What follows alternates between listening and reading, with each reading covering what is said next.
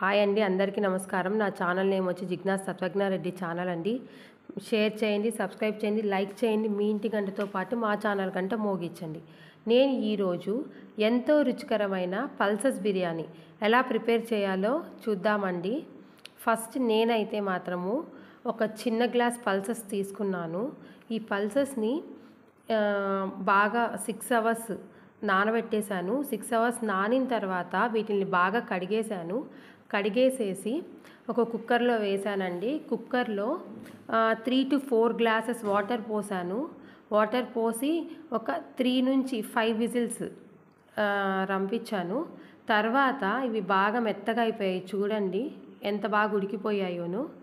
తర్వాత నేను వాటర్ని అయితే సపరేట్ చేశాను ఈ వాటర్ని నేను ఏం చేశానో నెక్స్ట్ వీడియోలో చూపిస్తాను. చూడండి బాగా మెత్తగా అయిపోయి నేనైతే సాల్ట్ వేయలేదండి ఇక్కడ. ఓన్లీ జస్ట్ వాటర్ పోసి ఉడికిచ్చేసాను. ఆ తర్వాత ఒక కడాయి పెట్టుకొని దాంట్లో టూ స్పూన్స్ ఆయిల్ వేసి ఒకటిన్నర స్పూన్ అల్లం వెల్లుల్లి పేస్ట్ వేశాను తర్వాత ఒక మీడియం సైజ్ ఆనియన్ తీసుకున్నాను. ఆనియన్ వేసేసాను. దాంతోపాటు మూడు పచ్చిమిర్చి వేసుకున్నాను. మీ కారానికి సరిపడా వేసుకోవచ్చండి. కొంచెం మగ్గిన తర్వాత సాల్ట్ వేసాను దాంట్లో. సాల్ట్ వేసిన ఒక టేబుల్ స్పూన్ సాల్ట్ అండి దాంట్లో. ఆ తర్వాత హాఫ్ టేబుల్ స్పూన్ మాత్రము పసుపు. వేసిన తర్వాత కొంచెం ఒక టూ మినిట్స్ కొంచెం దగ్గరకు వచ్చిన తర్వాత అంటే పచ్చివాసన పోవాలి కదండి దాంట్లో నుంచి పచ్చివాసన పోయేంత వరకు మగ్గించి తర్వాత ఈ పల్సెస్ని వేసేసాను. ఎందుకంటే వీటికి ఉప్పు కారం పట్టాలి కదండి. ఇదండి ఇలా క్లోజ్ చేసేసాను మూత కూడాను.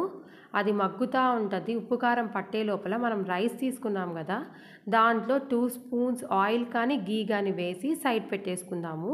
ఆ తర్వాత నేను మంచి స్మెల్ కోసము డైజెషన్ కోసము నేనేం చేశానంటే సోంపు తీసుకున్నానండి ఒక టేబుల్ స్పూను.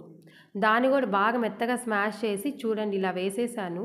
తర్వాత నేను గరం మసాలా పెప్పర్ పౌడరు తర్వాత నేను ధనియాలు పౌడరు తర్వాత జీలకర్ర పౌడరు అన్ని పౌడర్స్ తీసేసుకున్నానండి.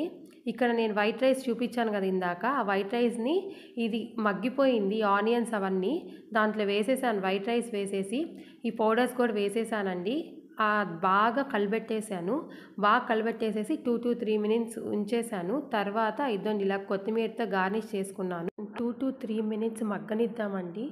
ఎందుకంటే మంచి స్మెల్ ఆ కొత్తిమీర స్మెల్ పట్టాలి కదా దానికి.